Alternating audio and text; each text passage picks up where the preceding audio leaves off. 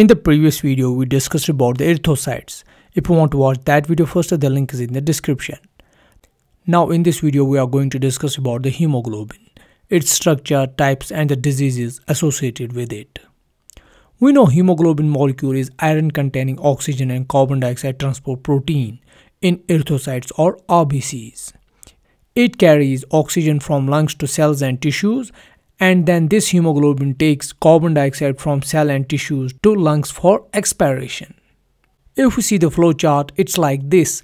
First of all, air is inspired into the lungs.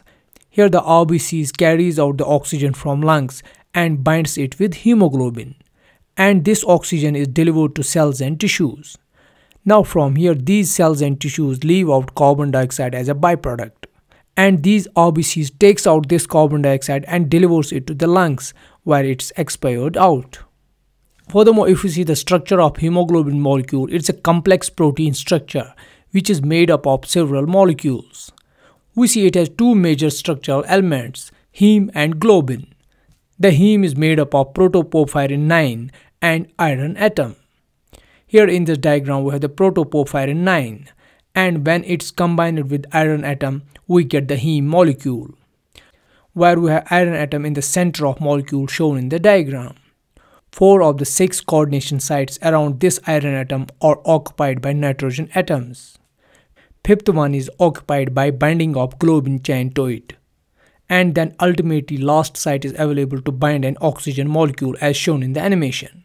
So all the six coordination sites of iron atom are occupied now. This makes us the one hemoglobin molecule, but it exists as a tetramer in the RBC. So the four hemoglobin molecules combine together to form a tetramer as shown in the diagram. And in this tetramer, we have now four oxygen binding sites, which can bind four oxygen molecules as shown in the animation. Moving further towards the hemoglobin types we have three major types of hemoglobin molecules hemoglobin A, hemoglobin A2, and fetal hemoglobin. The hemoglobin A is the most common tetramer and abundant type of hemoglobin in humans. It has two alpha polypeptide chains and two beta chains, shown in the diagram. And it's 95% to 98% of total hemoglobin present in the blood. Second is the hemoglobin A2, which is least common tetramer with two alpha chains and two delta chains. So here two beta chains have been replaced by delta chains. This hemoglobin A2 is found to be increased in beta thalassemia patients and in normal cases it's mostly present in between 1 to 2.5% of total hemoglobin present in the blood. Then we have fetal hemoglobin which has two alpha chains and two gamma chains. It's present in fetus and is produced around 6th week of pregnancy and it dominates till 4th month of birth. Now let's get to the diseases associated with hemoglobin. We have three major diseases associated with hemoglobin. Alpha thalassemia, beta thalassemia and sickle cell anemia. Let's briefly take an overview of all the three diseases. In alpha thalassemia, we have lack of alpha globin chain production in hemoglobin or there is reduced production of hemoglobin. And uh, in diseased humans, we have small RBCs with hemolytic anemia and enlarged spleen.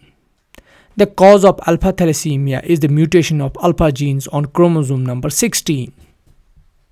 Second is the beta thalassemia due to lack of beta globin chain production or its reduced production. In beta thalassemia patients, we have high levels of hemoglobin A and fetal hemoglobin. The symptoms are same like hemolytic anemia and enlarged spleen. And this beta thalassemia is due to mutation of beta genes on chromosome number 11.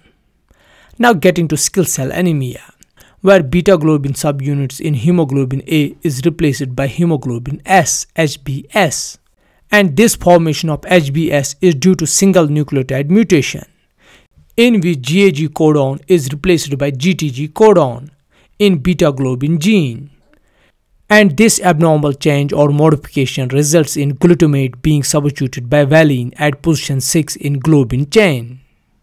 In this case, RBCs or erythrocytes becomes deformed and sickle cell shaped and then becomes sticky and rigid with which RBCs are unable to flow properly in the blood vessels.